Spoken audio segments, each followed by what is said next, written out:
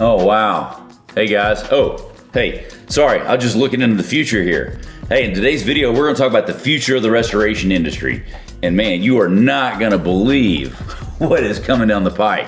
In today's video, we're gonna talk about what do you see in the future, how is it gonna affect you growing your restoration company, and more specifically, what is it gonna do to the big three in terms of the way that we get jobs. We're gonna talk about it all today. Let's go. All right, guys, so um, as we get started here, um, do me a favor, go ahead and hit the like and subscribe button and uh, share this video on social media and tag me. Go to Facebook, drop it in a group, just say, hey, at Shane O'Dazier. And if you're not friends with me on Facebook, hit me with a friend request too, okay? So uh, anyway, let's talk about the future of the restoration industry. In case you don't already know, a lot has changed in the past couple of years.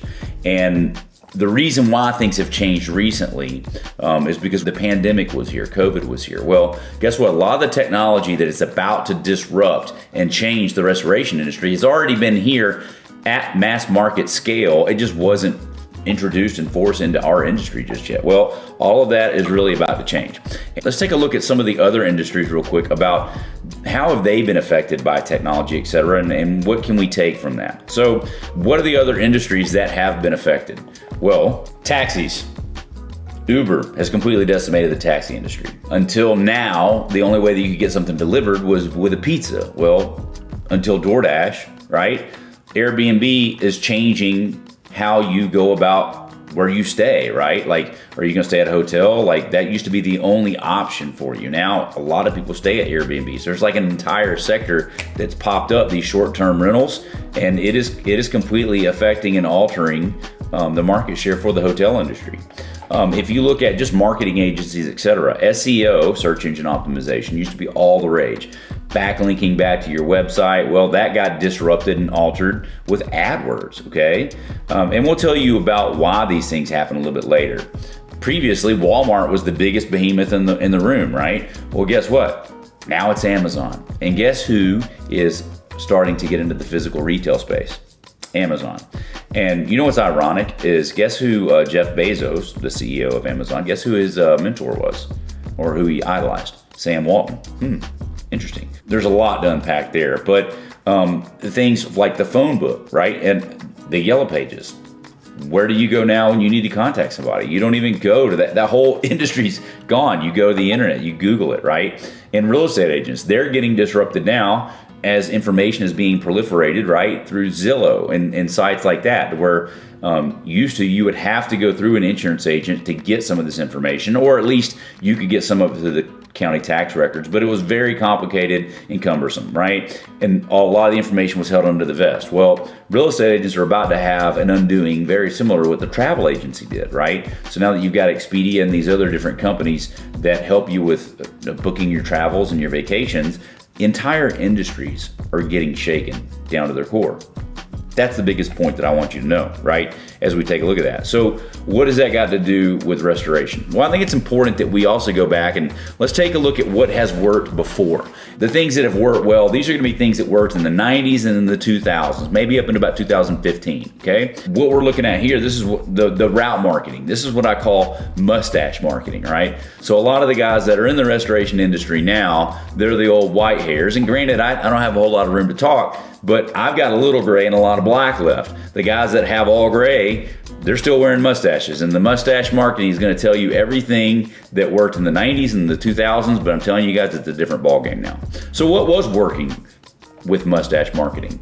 Your general route marketing, right? What is that? So if you want to pick up work from insurance agents, you would be able to literally go hire some girl or some young guy and you just go see the agents over and over again. You taking some jelly beans and some donuts, you completely interrupt their day. And ironically enough, they enjoyed that and they'd send you work. Like literally today at my studio, I had a guy just come walking in my office. So I keep my doors locked okay? And nobody likes to be interrupted, but this ironically worked in the 90s and in the 2000s. You could literally pay somebody just to go see agents. And the old top of mind was all you would need to do in order to, to get jobs. Well, that doesn't work anymore, but it did for a long, long time. Let's take a look at plumbers. What was working for a long time with plumbers? Well, you could just put together a blanket referral fee, you know, pay them 100, 200, 300 bucks, and then maybe offer a free dry out or some type of reciprocating program. And that was all you needed to get work from plumbers. But things have changed, guys. The things that, like right now, you've got referral fees that are skyrocketing. You can't get in front of the plumbers. Uh, the free drying isn't enough. Like once the word gets out on all this stuff, it doesn't work the way that it used to. Okay, route marketing's gone plumber marketing has completely evolved and changed. And let's look at the internet. Well, first of all, the internet wasn't here in the 90s, so we can take a look at it in the 2000s, right? SEO was all the rage, okay? If anybody was doing AdWords, it was like virtually free or it cost you very, very little. For us, when I started my company, there was like the gold rush. It was like the internet was uncharted territories. Like nobody knew anything about it. It was amazing. Okay. But then that stuff broke. Okay. SEO backlinks doesn't even work anymore. Why? Google now puts the map section on top of the search results of the search engine optimization stuff. And then they stack Google AdWords on top of that. And now they got Google Guaranteed on top of the AdWords. So literally, it went from SEO to AdWords to now they're putting Google Guaranteed on top of that. And you got other companies like 33 Mile Radius and pay per call industries that are now selling direct phone calls from customers right to your company, right? So for three, four, five, six hundred dollars, you can pay for a live phone call. Okay. And all these are these are direct response marketing agencies that know how to get clicks and they're driving the stuff to the restoration companies. Same thing, we go back. And even more recently, guys, and this is just to give you, an, you might have seen Facebook ads from me in the past few years. Well, you're not seeing those ads now. Why? Because you've heard about iOS 14. Potentially you have, maybe you haven't. But if you go to your phone now and you'll see a lot of times on your iPhone, it'll say, do you want this app to track you? Allow once or only while using. This is a new update that Apple pushed out, okay? And what does this mean? Uh, companies that were using Facebook because they could effectively target you. Now they can't because now you have to literally say, yes, it's okay to leave my app tracking on. And that's a whole different can of worms, guys. But all I'm telling you is this if you say no to that, it doesn't mean you don't see ads on Facebook. It just means you're more likely to see ads for something you don't want. So instead of looking at hunting and fishing stuff, now you're to get ads for tampons, okay? Because they can't tell you from your wife. But here's the point that I want you to know things that used to work aren't working anymore. Okay, so this is an example of the things that, that were working. So let's take a look at today's environment. Okay, insurance agents, they're working remote, or just like I told you, they've got the door locked. Why? Because over the past year, two years, guys, since COVID, if you couldn't figure out how to run a remote company or a skeleton crew, you're already out of business. Okay, PPP is gone, both rounds. And so the companies that made it, made it. And well, there's probably about a third of them that are still floundering that are going out right now. But I mean, in another 12 months, they're all going to be done. They're all going to be gone. They will have maxed out their lines of credit, and the mustaches are dead. Okay, that's it. And so, agents, remote, skeleton crews can't get in front of them. Route marketing, not going to work. Okay, it was stupid to begin with, to be honest with you. Plumbers, it's hard to get inside to even talk to the plumbers. Okay, maybe you do get in front of them, maybe you don't. But just know this referral fees are skyrocketing. Everybody's offering free dryouts. And if you're working with a plumber that only wants money, then it's going to the highest bidder, guys. It's getting more and more difficult to get work from agents for these reasons. It's getting more and more difficult to get work from plumbers for these reasons.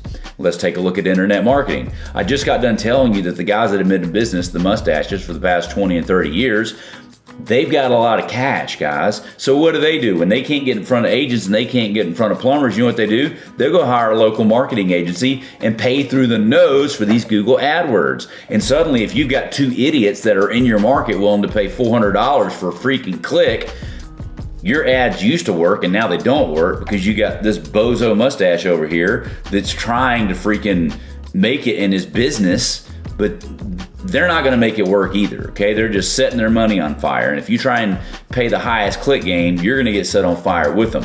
So you can't play with an idiot with money on the internet because I'm not gonna say they're gonna win. It's just like the drunk guy at the blackjack table. If this dude is still taking a hit with a four card, a bus card showing, like you better just let that dude lose all his money and go sit down when he's done. Okay? And we already touched on the iOS 14 where they block all of your tracking. Here's what I want you to know, guys. The things that used to work don't work. We told you what did work. Now I'm telling you what our, today's environment is. So what does this mean?